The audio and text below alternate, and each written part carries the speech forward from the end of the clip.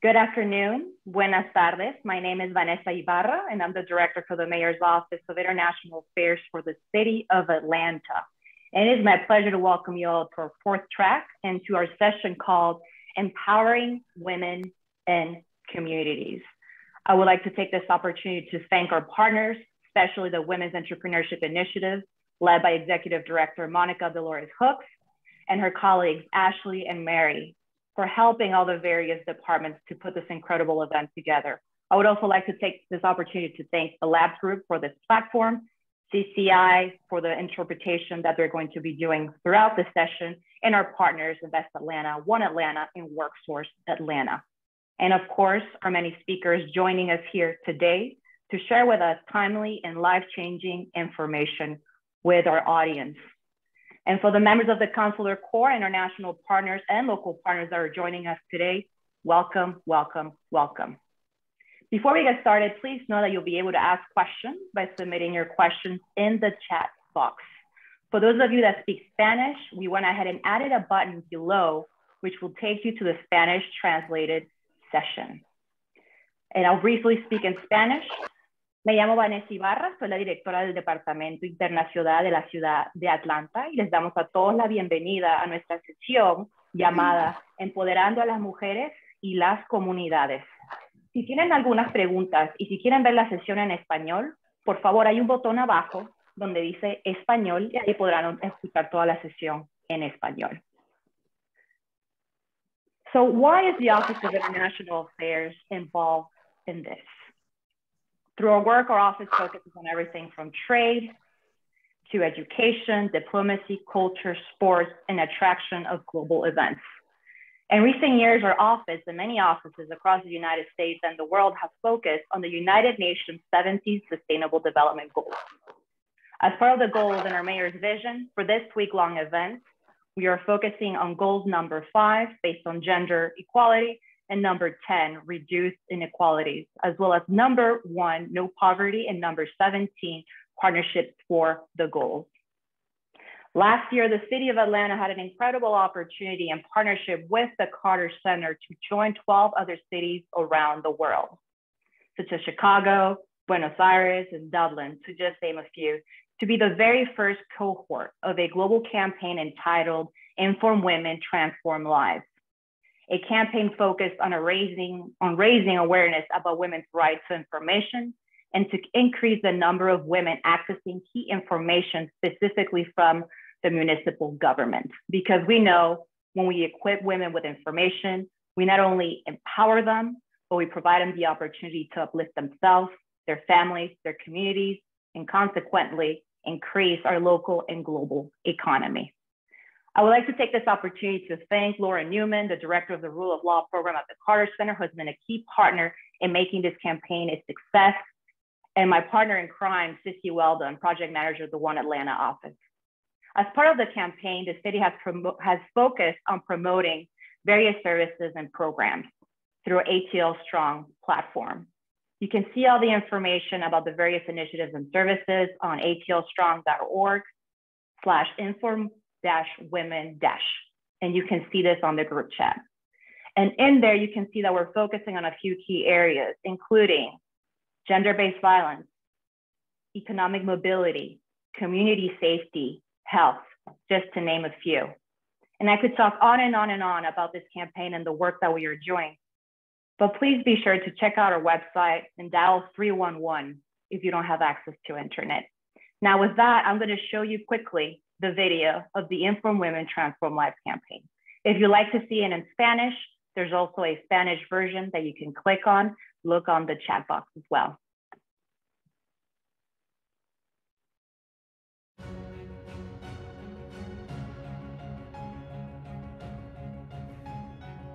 When you're in the dark, life can be hard to navigate, and solutions may feel out of reach. For women in our city and around the world, it can be even more challenging to access the services we need. And without a clear way forward, we hit a dead end. Fortunately, we have a right to information, and information is power. Power to transform our lives, our families, and our communities. Informed women can secure municipal services like clean water, improved infrastructure, and electricity. Services that meet our basic needs. Informed women can draw on social protections like job training, disability allowances, and food subsidies, enabling us to improve our lives.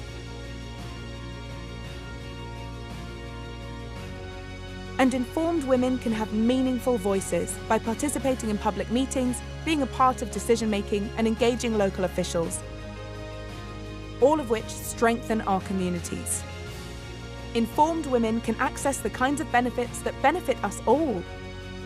And with the support of our city government, neighbours, and family members, we can build communities that are more secure, peaceful, and prosperous. Inform women, transform lives.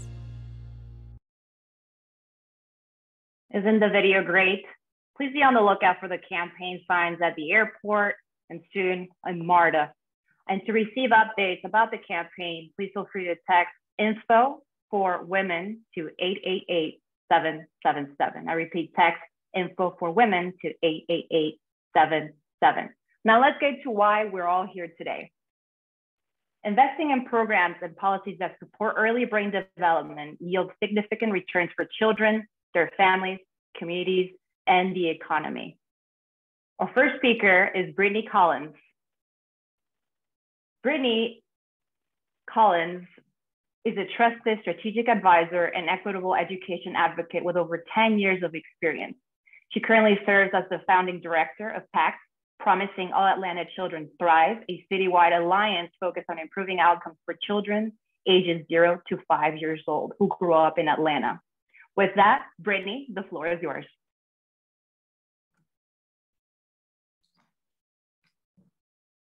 Hello, everyone. How are you today?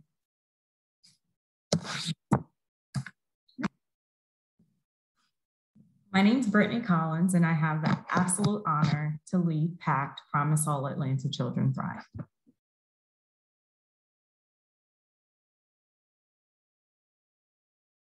Convened by GEEARS, PACT's vision is to ensure families in the city of Atlanta have what they need to ensure all children have a strong, healthy start and are prepared to reach their full potential as citizens of our city. Our mission is to create a citywide alliance of public, private, and nonprofit partners working collaboratively to improve outcomes for Atlanta's youngest children.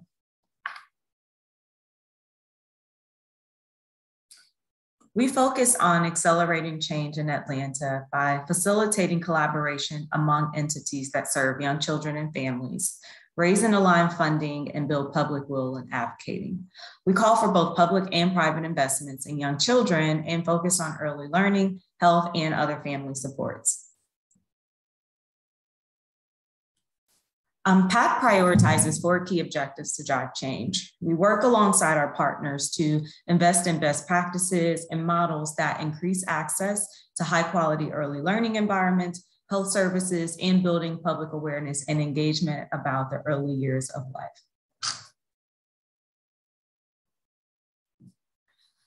Um, so, I mean, at this time, families are truly facing hard decisions right now when it comes to work and childcare. And studies have shown that these issues are impacting women's participation in the workforce at an alarming pace. Childcare access and affordability, quite frankly, were issues many Atlantans were facing in the rest of our country before the pandemic, but COVID has truly shone a spotlight on just the severity of these issues. So, you know, if we look at this slide, this is data pre-pandemic, but over 26 of Georgia parents and children Georgia parents and caregivers with young children under five reported significant changes to employment as a result of childcare issues. And as we think about retaining people in the workforce, at the time, 30% of millennials said they would change jobs if they had um, access to a reimbursement benefit. Move forward.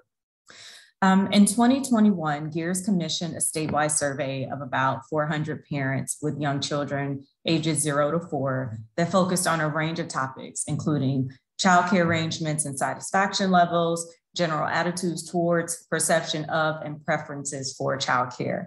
Um, thinking about financial and unemployment and employment impacts in relation to childcare during these times. And as you can see from some of our stats on the slides, about 81% agreed that the pandemic has changed how they think about childcare. A significant amount of families had to quit a job or not take a job because of issues with childcare. And last, 88% agreed that the pandemic really demonstrated the importance of financial resources when it comes to accessing childcare. So one of the barriers families face when seeking employment is physical access. So let's zoom in on the Douglass cluster on the west side of Atlanta. There are significant disparities in access to childcare um, settings as we think about the supply that's needed or the supply that exists today and the actual demand that's needed. Areas with large gaps between childcare supply and demand can be found across the metro Atlanta region. However, many of the communities that experience these gaps also have high concentration of poverty. Another real barrier is financial access. Simply put, parents cannot afford the high cost of care. In fact, the cost of high quality care for an infant in Atlanta can cost up to 40% of a low income family's salary. And while we do have a state program that provides childcare scholarships to low income families, funding constraints mean that we serve only about 14% of eligible families um, that can access that program. So to respond to that barrier, um, we've created the PACT Scholarship powered by Quality Care for Children. And this program ensures that infants and young children ages birth to three can access affordable high quality childcare at a quality rated program. So with this investment, families pay no more than 10% of their income on childcare, and the PACT scholarship pays for the rest. Enrolled families receive the scholarship until their child transitions into a free Georgia pre-K program. And ideally, this allows for uninterrupted, uninterrupted employment for the family, but also continuous access to high quality early learning programs for the child. And it's truly our approach to have a two generation strategy in place. We're also working to help stabilize childcare supply across Atlanta neighborhoods by directly investing in childcare programs. So last summer, PACT partnered with Quality Care for Children and Reinvestment Fund to provide to provide stabilization grants to childcare providers located in the city of Atlanta. And the purpose of this grant was to help them sustain their businesses as they dealt with whether it was rising PP, PPE costs or decline enrollment, what we knew to be true is if we're already facing supply gaps before the pandemic, it was critical that we were able to invest in these providers who have always cared for our young children. So through the PACT Fund for Quality, um, we provided grant funds to stabilize and preserve the existing childcare market to ensure options would be available for families when they did when they were either continuing to work or when they returned to work. We deployed over $1.2 million to 62 childcare providers in the city of Atlanta. And as you can see from some of the stats on this page, the majority of these programs were women owned and owned by um, women of color. Um, last, I'm super excited to announce the launch of PACT's first citywide advocacy and awareness campaign. So as you're driving around the city, you may also see billboards, interior bus ads, and online ads aimed to increase the aware to increase public awareness of the importance of the early years and really shine light on the reality that access to high quality care and education is not accessible for all families and caregivers in city of Atlanta. And the ads feature young toddlers with the message, if Atlanta doesn't invest in their education now, we'll pay for it later honestly, now is the time to build a system of early care and education that works, is responsive to the needs of working women, and we need voters to use their voice on the local, state, and federal level. So whether you are a business in the city, such as what you see now, there are specific actions that you can do to support caregivers in your workplace, particularly caregivers um, caring for young children.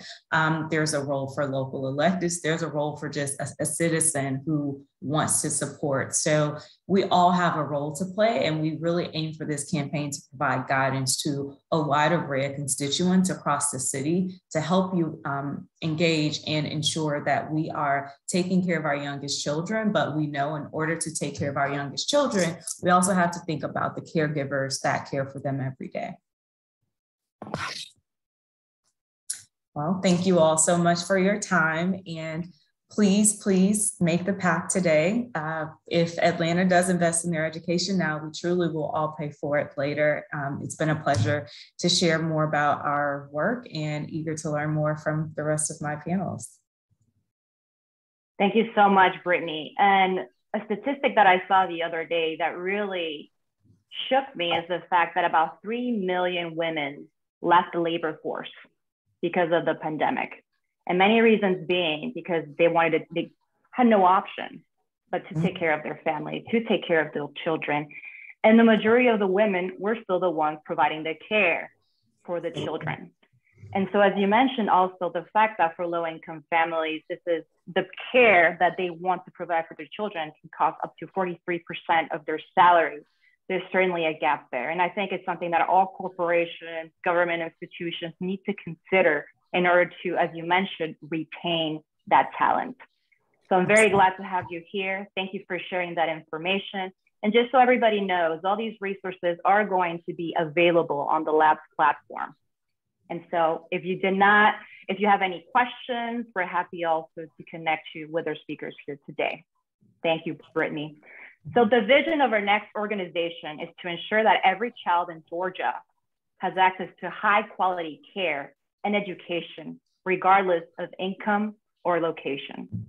Our next speaker is Pam Stevens. She is the Deputy Commissioner for Child Care Services at the Georgia Department of Early Care and Learning.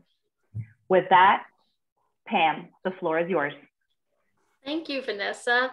Um, I really enjoyed Brittany's presentation. It just um, so so great to hear all the partners we have in trying to provide high quality early education for all of Georgia's young children. You know, the decision about how and wh- where to send your child for childcare is hugely important. And as Brittany said as well, it's a very expensive decision.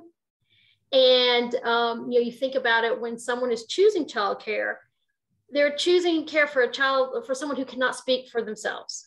You know, so you are just totally have to trust that you're choosing the right place. And, and, and that and we want to do everything we can to, like the video said, which I loved the video, Vanessa, that it's information. Information is power. And we want to inform people on how they can make the best decision possible for their families. And what we know and what our research tells us is that overwhelmingly, mothers make childcare decisions. So it's 100% about women in the workplace because you can't work if you're worried about your child.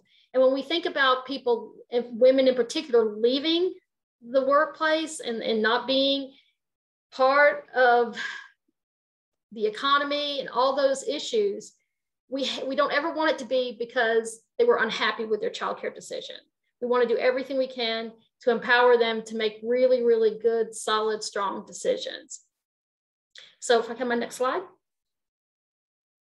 So I just want to talk briefly about what we have at the Department of Early Care and Learning to help parents make that all important decision for their child.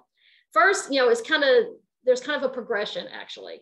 My department, my division is child care services. And what we do is license child care, and then we ensure the health and safety of children in child care by monitoring them and uh, giving them technical assistance and training to make sure that programs are always improving their quality. So if you're looking for childcare, families are ever looking for childcare, the first question to ask is, are you licensed? That's, that's just the foundational piece for all of this. Are you licensed?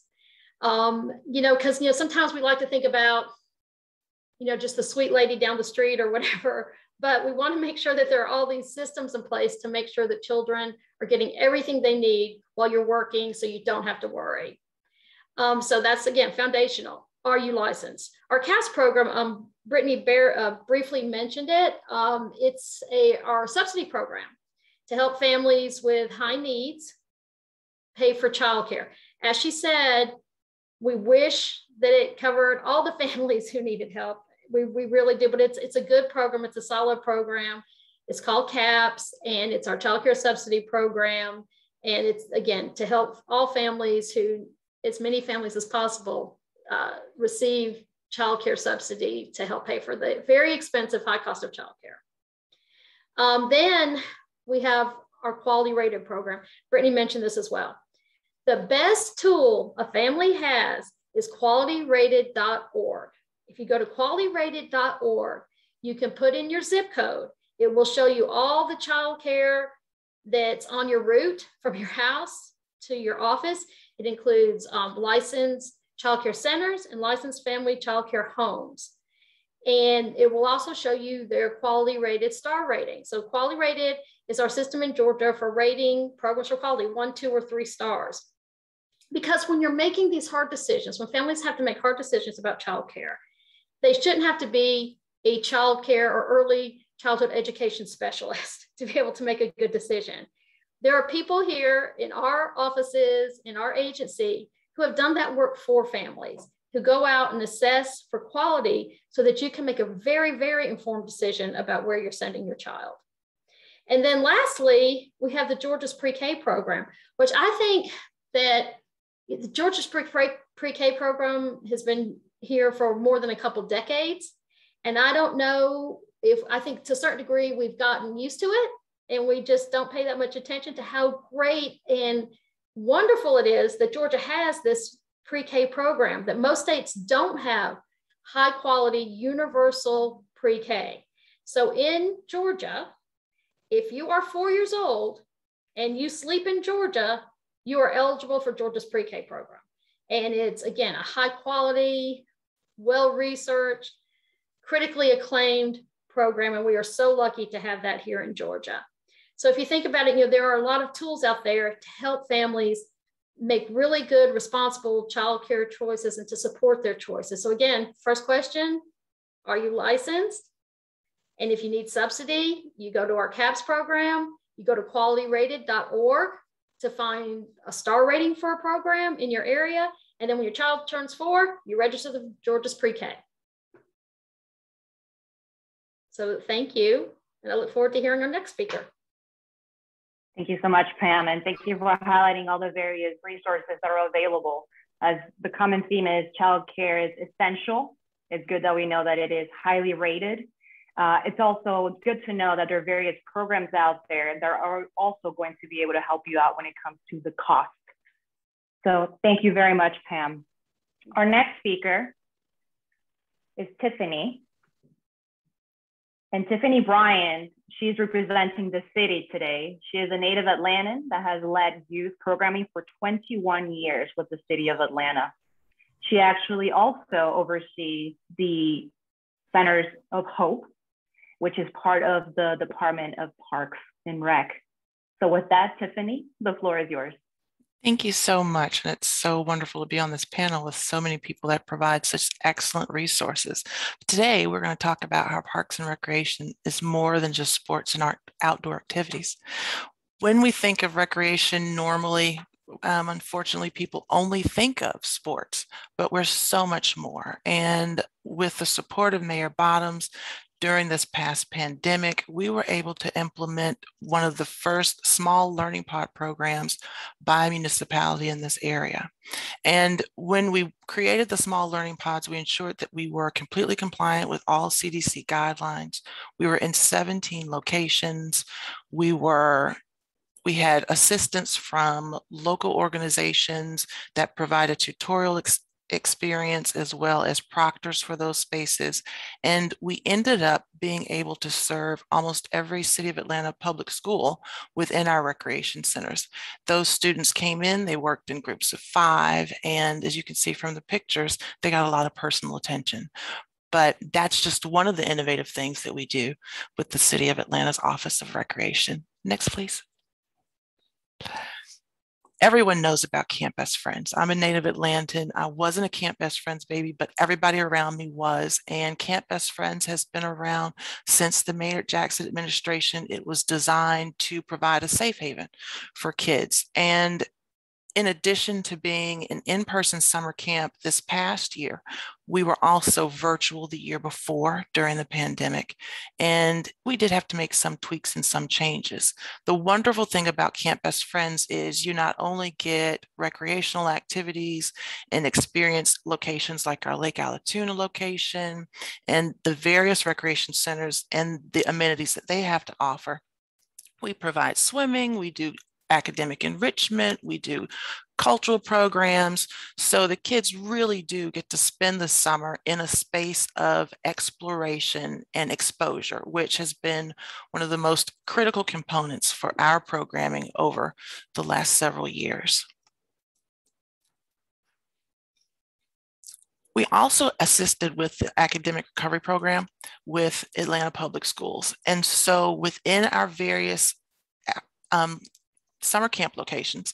We had specific locations that started a little earlier that allowed for students to come in, participate in the academic recovery program in the morning, and then transition into recreational activities in the afternoon. We were very excited about this process. It was a, a, natural extension for us because of the learning pods, but it was also, again, something new. And I must add that the academic Recovery Academy as well as Camp Best Friends are all available with a learning with a um, fee structure. So if you need support in making those payments, our fees are already wonderfully low, but we have mechanisms in place that will assist. Our virtual Camp Best Friends program was piloted at the beginning of the pandemic, and we covered everything from STEAM to physical fitness. We did Camp Best Friends time with a different location every morning. And so the kids who participated got to really become a small community. And the goal was to make sure that our parents who were at home who had had their children during the pandemic really got a chance to rest for a little bit. And so for four hours every morning, we were able to go ahead and draw them in with help from partners like Dance Canvas, a local small arts organization. We had help from the Youth Science Academy. We had help from After School All Stars, eh, providing everything from yoga to boxing, and we ended up having a really good time and had a actually a major competition to see which site got the most views on Facebook Live. So we were everywhere this summer. Next slide. Our Atlanta Teen Leaders Program is one of our strongest programs in that it provides activities for our teens 14 to 18. And we've just moved into including the Junior Academy, which ad- addresses your middle school students. The goal was to have a space for our teens to come this summer and receive exposure, practical work experience, but also participate in some fun activities as well. Most of our students this past year were from the Atlanta Public School System. They had either been in our after school program or they just heard about us word of mouth. And thanks to Mayor Bottoms, we were able to add an additional over 100 positions for teens this past summer that were paid. So, and you'll see this was our actually um, our flyer for that. The process was simple. They came into actual City of Atlanta employee position, seasonal employee positions. They received payment like City of Atlanta employees. They were required to submit timesheets in a timely manner in order to make sure that they were paid. But in the process, they also provided valuable support for our Camp Best Friends program because with the smaller groups, we wanted to make sure that our participants this summer were not only engaged, but that they got a little more attention than they normally did, considering that they spent the majority of the school year at home. And that's pretty much it for us. We have a plethora of activities. We'd love to see you come out. Based on fees and needs, we can go as low as free. Um, but then our prices are reasonable. Summer camp is $35 a week if you're a city if you're a city resident or city employee, and 65 if you're an out of state out of city resident. So thank you so much and come and visit the City of Atlanta Parks and Recreation Department. We've got lots of things for you in all 33 centers. That's my elevator speech. Thank you so much, Tiffani. And y'all have really done incredible work during this pandemic, specific, specifically with the learning pods. As and I've mentioned this before, the fact that we we have to be aware of the digital divide that the city of Atlanta faces and how many children were very much being left behind, unfortunately. And so thank you for very much leading the efforts with the team at Parks and Rec to make these available. And I've also had the opportunity to meet some of these uh, youth counselors that you'll have for Camp Best Friends. I had the opportunity of going to the Adams Park location perhaps about five years ago, and we had the opportunity of interviewing them. Uh, they thought that we were interviewing them just to pick a few candidates, but at the end, we announced that we were actually getting all of them to be part of Camp Best Friends. So it was fantastic, and I really applaud you all for the work that you have been doing. So with that, before I open up the floor for questions, I do wanna make you aware of an upcoming event that we have taking place as part of the Inform Women Transform Lives campaign and also part of Elevate. What you see here is a mural image that was provided by the muralist Sarah Neuberger. And so at the Chastain Arts Center, we will be able to paint the mural along with the artist from 2 to 6 p.m. If you look on the group chat, you'll be able to see the link to be able to register. But we are very excited for the opportunity to be able to engage with the community about this incredible project and for you all to learn more about what the campaign is doing to inform and transform the lives of women and strengthen our community. And I will also like to show a video from Mayor Bottoms talking about the campaign.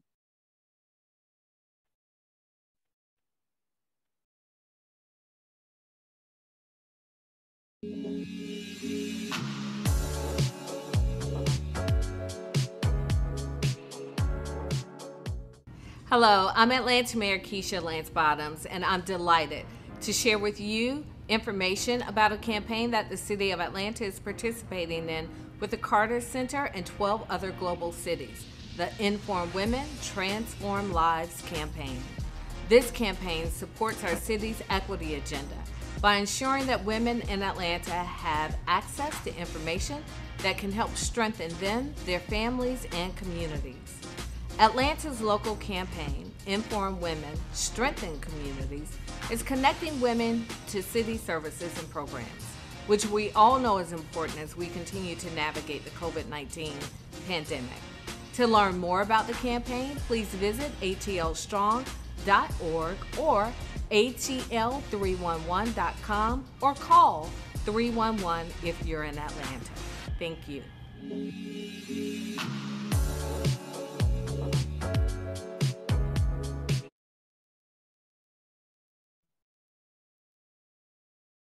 Thank you, Mayor Bottoms. And so now I'm going to open the floor up for questions. I don't see any questions right now in the chat box. And if I don't see any in a couple of seconds, I have a few questions that I would love to ask our panelists. And so my first question to all the panelists, we've invited you all to come and speak. We have an audience consisting of corporations, nonprofit organizations, government officials, students, what else can the city of Atlanta do to best support you and our communities when it comes to the child care piece and engaging our youth?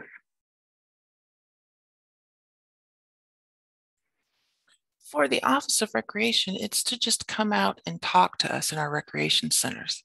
Call, see what we have offered because everything ranges from your traditional sports to art classes in partnership with the Mayor's Office of Cultural Affairs to academic assistance. And we find that a lot of times because they're so busy, a lot of people don't want to go inside, but there's always someone in one of our recreation centers that's there that's willing to provide advice that probably gives unsolicited advice, but can definitely direct you in more than one way to make sure that your needs are met.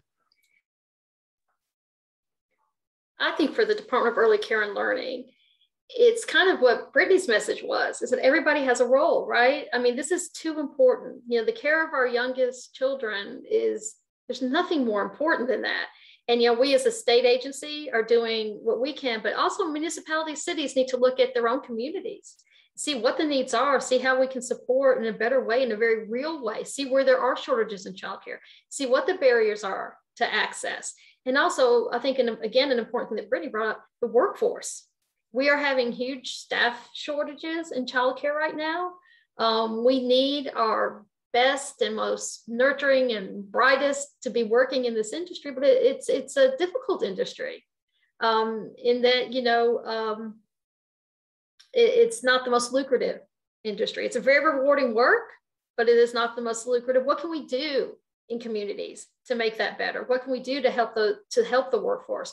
What can we do to make childcare more accessible? I think it is everyone's responsibility and taking a deep dive into what's going on in your neighborhoods and your communities and seeing how we can work together, how corporations can support families and finding the right childcare and then supporting those childcare programs and partnering with them to strengthen the program would be amazingly helpful. Pam, Brittany? Yes, go ahead. I, am having some tech issues, so I'm on my cell phone. So we're going to keep They're going. completely fine. um, I think Pam said it said it eloquently, but as we think about supporting women and ensuring that childcare is available or ensuring we have a thriving early childhood workforce, it is looking at the local municipalities to say, how can we leverage some of the state funding?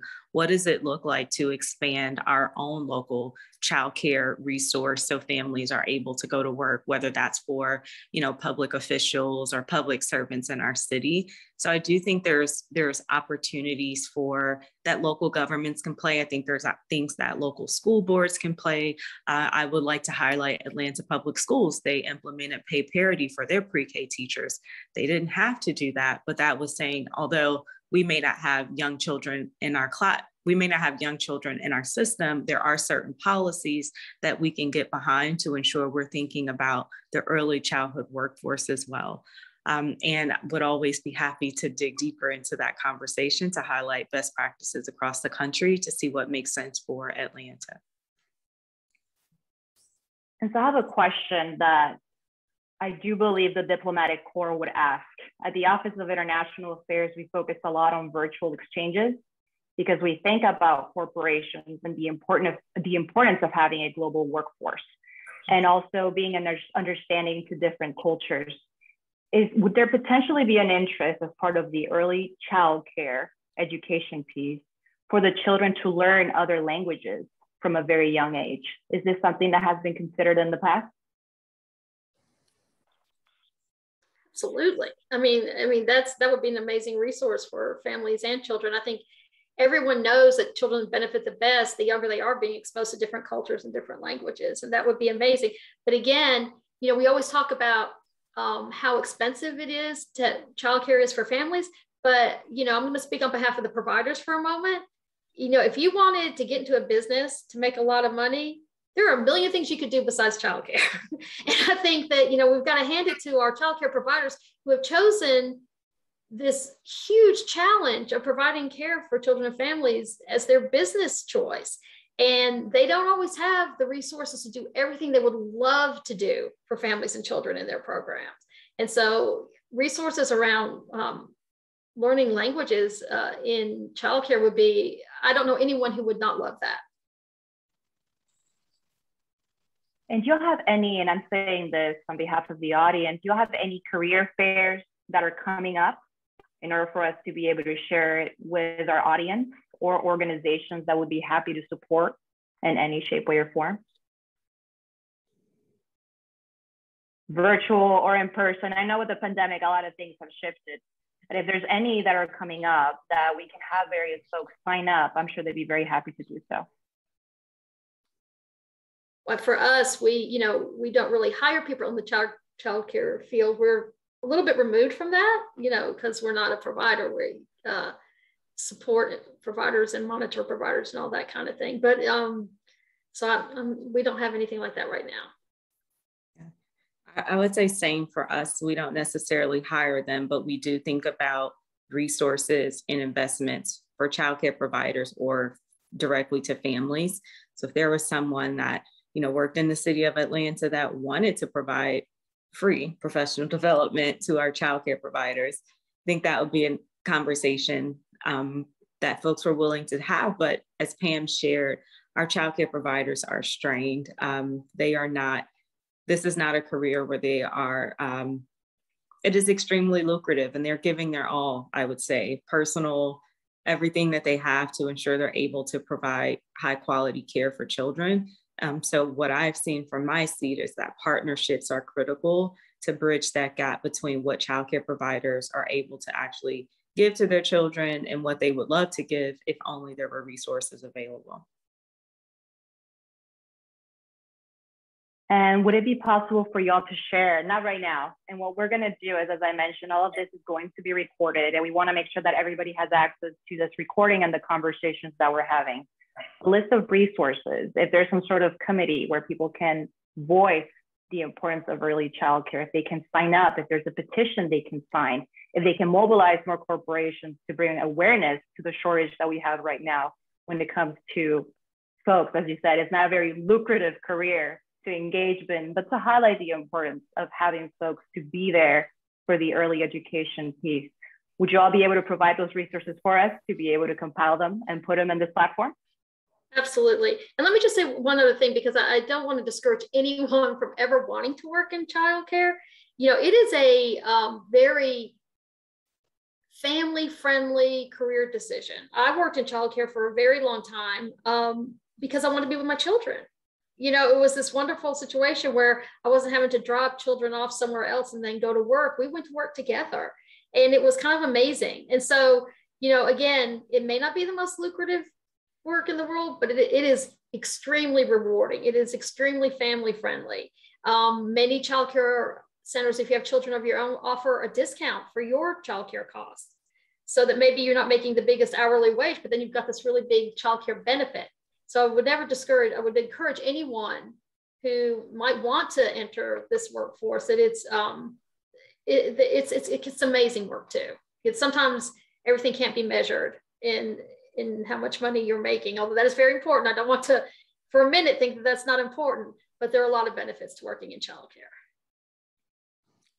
Thanks, Pam. Um, and absolutely for us as well. Again, one of the key objectives of the campaign is to raise awareness on the importance of early learning, but more importantly, give businesses, local elected officials, school districts the tools that they need um, to say if you want to support, these are very specific ways to support, um, as well as lifting up some of the resources that many of the PACT partners are implementing today in City of Atlanta. So would certainly love to share those resources. And last, I will just highlight the importance of federal advocacy at this moment. Um, we're talking a lot about the need for childcare investments, and there's roles for everyone to play. So, our focus at GEEARS is really thinking about increasing awareness of some of the opportunities at the federal level, and voices and stories are critical. So, we'll be happy to share some of our action alerts to ensure that Georgia's voice is front and center as we're making some decisions about what could be historic investments in the early care and learning system.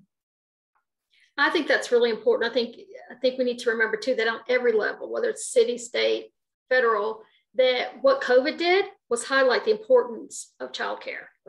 Um, when the schools shut down, school agers went either to um, Parks and Recreation Department in the city of Atlanta or to their child care program.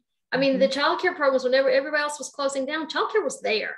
Child care has been there from day one because they were, we weren't going to have essential workers if we didn't have child care. We weren't going to have doctors, we weren't going to have nurses, we weren't going to have people at the grocery store. So it's, you know, let's remember that what COVID has taught us is that childcare plays a crucial role in everything operating. And that we have to remember that let's take a good, long, hard look and see how we can strengthen this industry.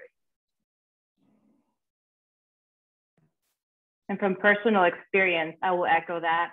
I do have a four year old, and I know how difficult it was for many women. I had, of course, the opportunity to be able to work from home. But as you mentioned, Pam, a lot of folks don't have that opportunity. They have to be physically at work and that goes back to why so many women left the labor force, unfortunately.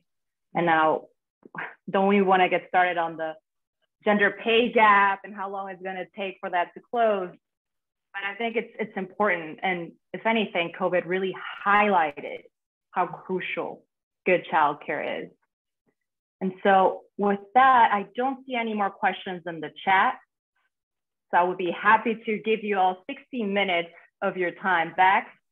But to everyone joining us here today and the speakers, again, all this material and all these various resources that we have been discussing are going to be part of the lab platform. This is being recorded, and so you may see it later on when able to do so, perhaps with your children running around in the background. But we're happy to support you. And I want to thank again our partners for taking the time, for being here with us, and bringing forth very important and timely information. So with that, thank you all, and I wish you a wonderful day. Bye.